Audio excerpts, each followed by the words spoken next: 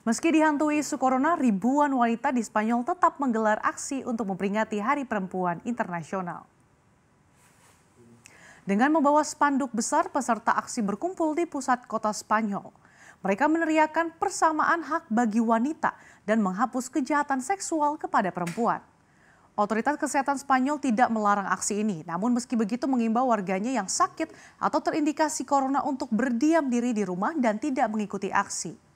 Dampak corona, 17 warga Spanyol dilaporkan meninggal dunia dan 500 orang dilaporkan terinfeksi virus.